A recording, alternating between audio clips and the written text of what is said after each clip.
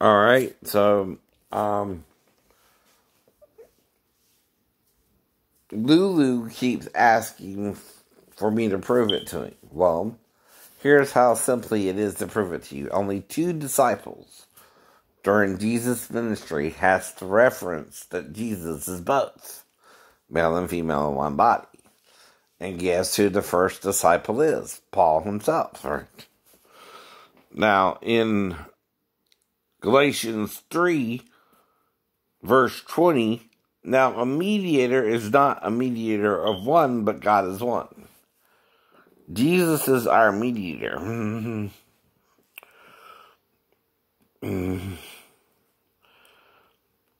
Go down to verse 27 then. For as many of you as have been baptized into Christ have put on Christ. Right. There is neither Jew nor Gentile. Mm-hmm. There is neither bond nor free. There is neither male and female. Mm-hmm. For you are all one in Christ Jesus. Now, mm-hmm. if you're one in Christ Jesus, He's your mediator between the Jew and the Gentile, the bond and the free, the male and the female, because you're one in His body, right? That He may understand both, either the male or the female, right? The opposite of neither is either. he is either, I don't know Jew and Gentile, right? He is either bonded free, right? As well. Mm-hmm. So that means basically he's both, right? I don't know. Now, all I need is a second witness. And that's John referring to Jesus as being the door, right? And Jesus himself making the statement. All right.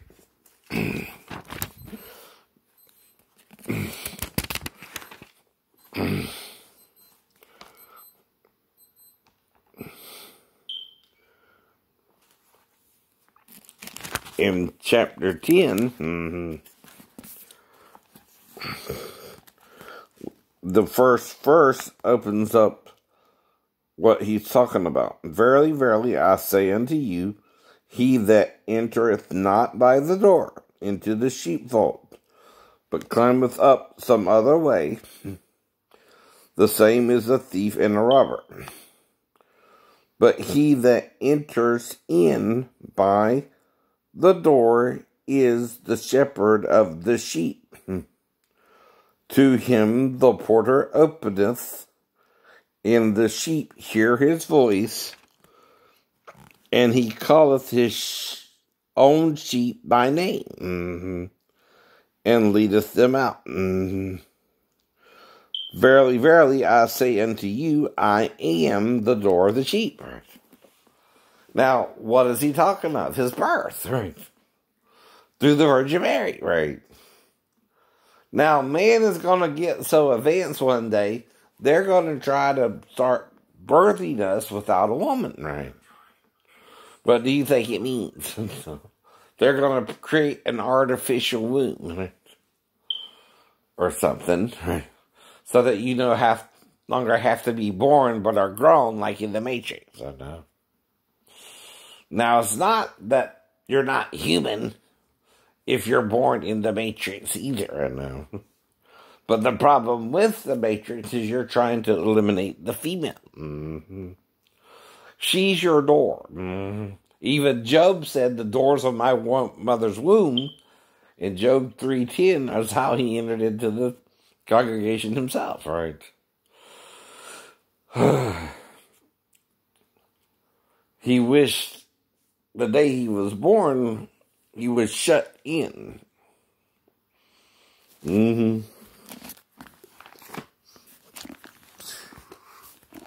All I need is two witnesses anyway. And mm, to infer mm, that Christ is both male and female somehow. Mm.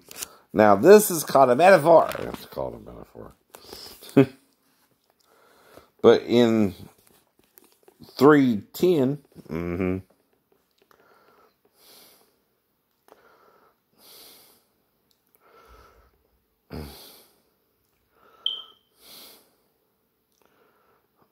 We can start in verse 3 if we want to. Let the day perish wherein I was born. Right.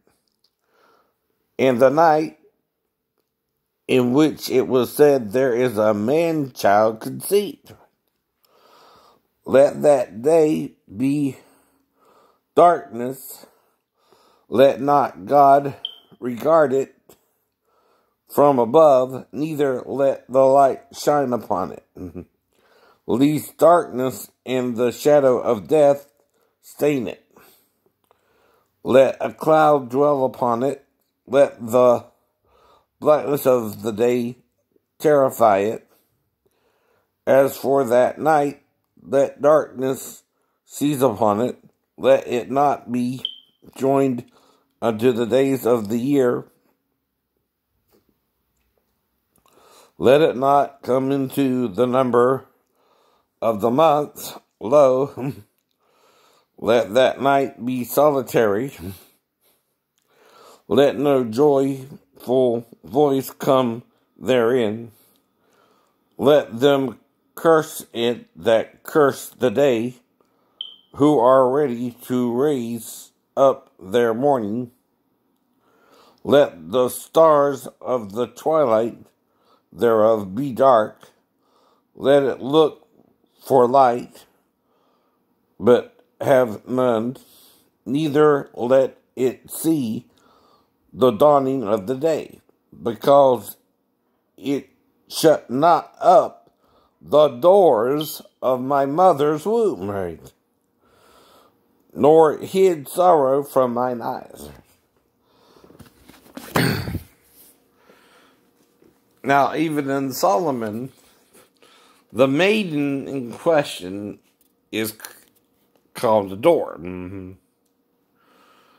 and a wall and a wall. In Solomon's 8. Her womb is the door, is the door. Also, your heart is a door, your mouth is a door, things go in and out of it. Though generally it's just in, right? Right. I know. Now, another thing is your mouth and butt are a bottomless pit. You ever think of that? Satan casts himself into the bottomless pit. What do you think that means? that ain't a sexual reference to Eden, metaphorically said? Yes, yes. There's only one pit on a male and a female and a hermaphrodite. That's the bottomless pit. And that's the butt. From the mouth. See, this is an opening. The butt is also an opening. and it goes throughout your body. There's no top or bottom to it. is there technically? No. no. Is therefore a bottomless pit.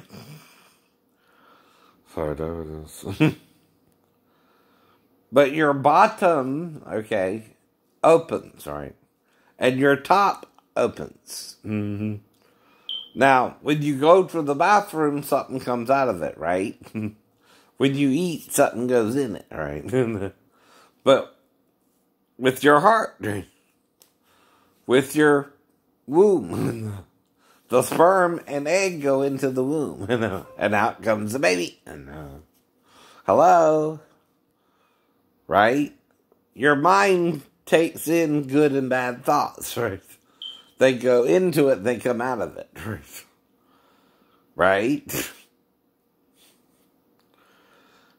And that's what it all means. There's not one reference to that. There's many. There's many.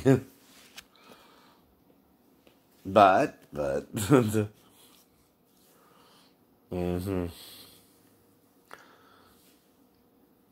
A pit is bottomless because it opens on both ends, right?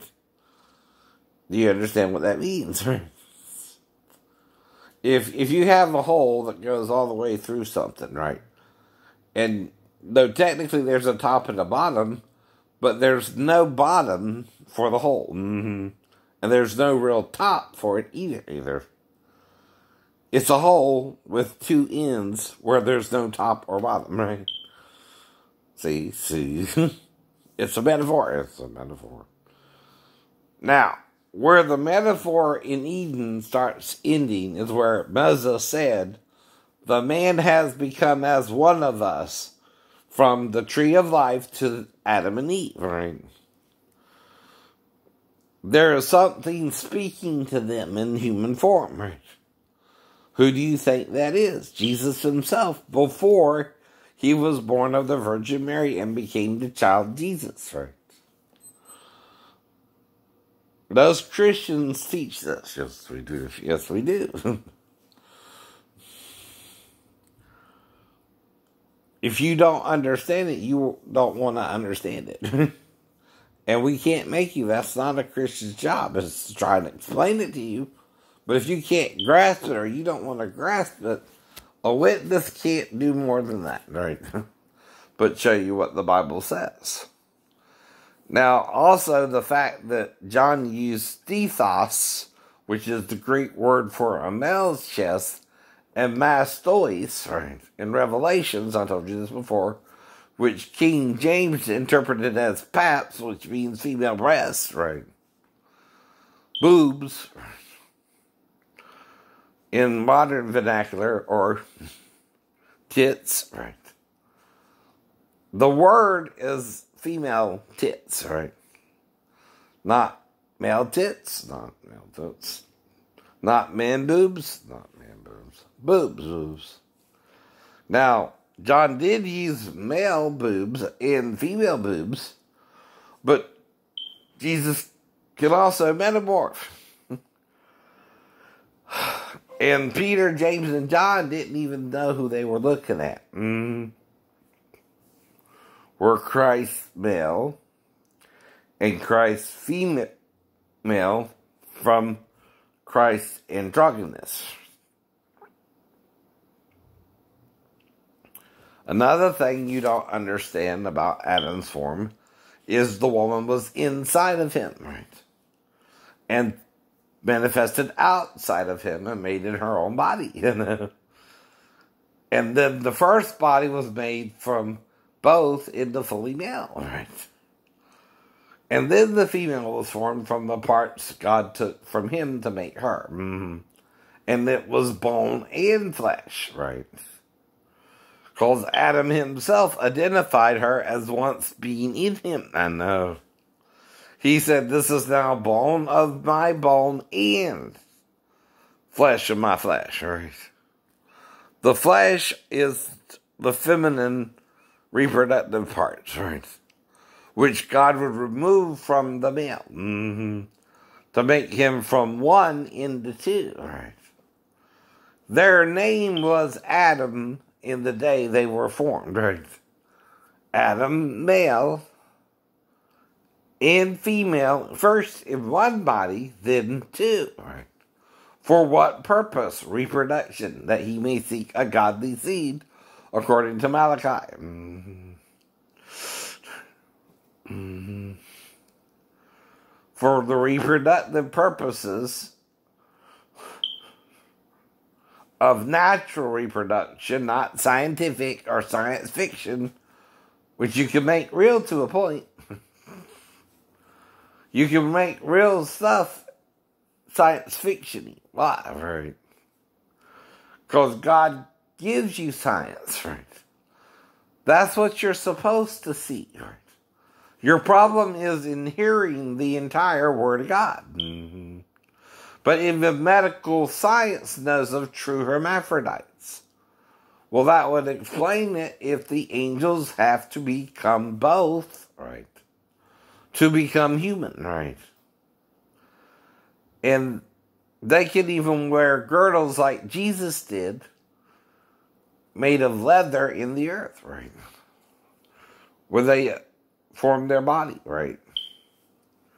See, unlike us, they already have an existence in the first estate, right? According to Peter and Jude, oh no.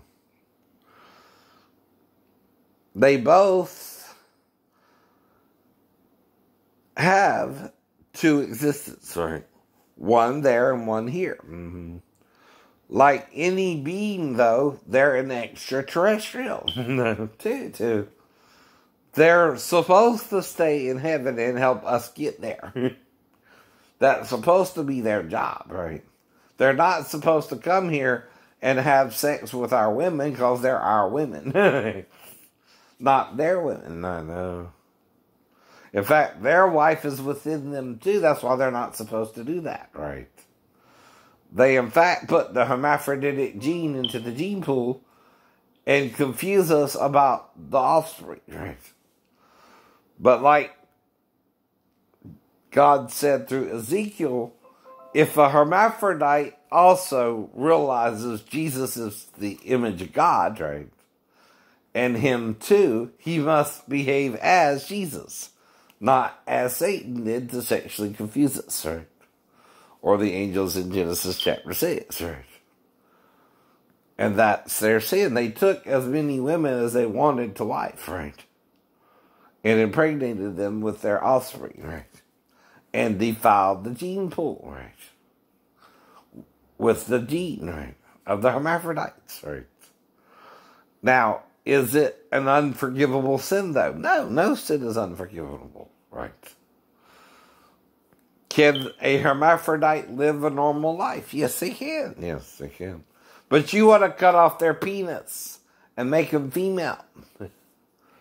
yes, you do, medical doctors. Right? That's wrong too. They're supposed to be a hermaphrodite as a sign of the sin in Eden and Genesis 6. Right? It shows the angels had sex with the daughters of men, right? And it will produce X, XY if you're a hermaphrodite, right? three X's instead of two, right? Uh, but the two is from the angel. And, uh, which Peter and Jude both call them angels, right? And you're taught to deny it. And you're taught to deny it by the Orthodox Church, which is siding with Emperor Constantine, which has been lying to us for 1700 years. Yeah, this lie has been going on longer than the truth, which only made it to 325 AD, right?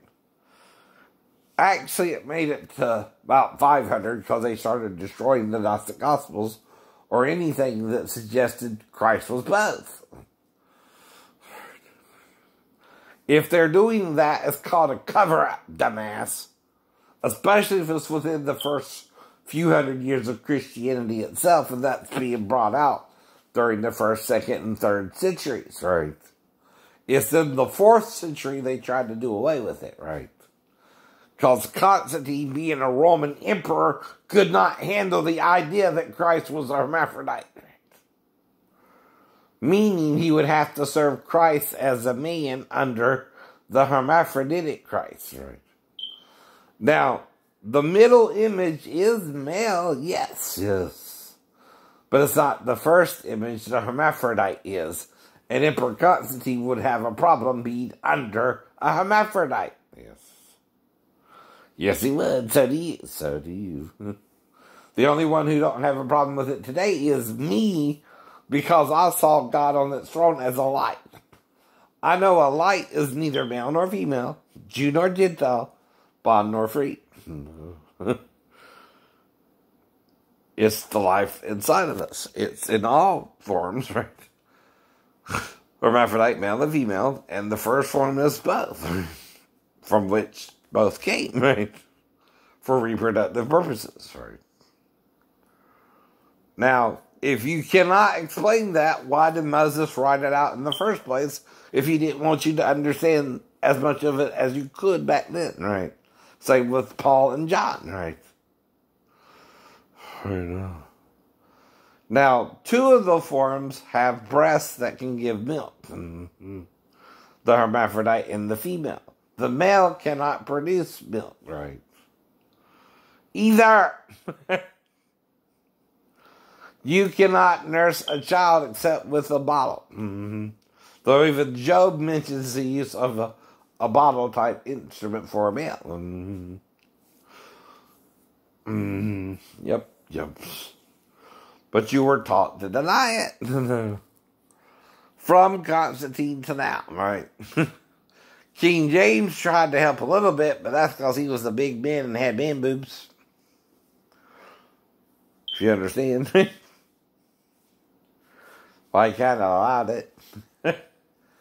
but then by George the Third, they're using sovereign immunity to get out, put uh, putting the Christians in jail and harming them under harsh punishments. Right. That's why we came here anyway. Mm-hmm. Freedom of religion. Freedom of religion. But the problem is, men oppress other men. Men persecute other men who believe differently than them. Men won't really let you have freedom of religion, will they? No, no. the reason I know that is I found out about all this in the Navy, right? I never heard of the Gnostic Gospels before I joined the Navy, right? But there again, I'm exposed to the world, right? Through the Navy too, right? So of course it came out in '93. I know in an article in either U.S. News or World Report or one of them, right? I know about the Gnostic Gospels also being dis- discovered, like the, the, the Dead Sea Scrolls. But now they're wondering if they're a little fake. Because they found salt on some of them, right? Which there was no salt back then. Whatever, okay, right. So nothing's perfect, but again, I don't know. One could be truer though, the Nag Hammadi Library, the, the library out of Egypt, right? They didn't find no salt, no nothing weird with their discovery, just the papyri, right? That the Gnostics wrote in their right? Which was the same thing as in the vault of the Vatican, right? Where you have the, Roman version of Christianity. The Gnostics talks of the first three centuries of early Christianity and how they believed Christ was androgynous and hermaphrodite, as was Adam, as was Adam. and they've been lying to us about it. So what can you do? Realize the lying party is siding with Satan, but God's grace covered us till now, right? We did not know. But if you know the truth, you got to let the truth make you free from the lie.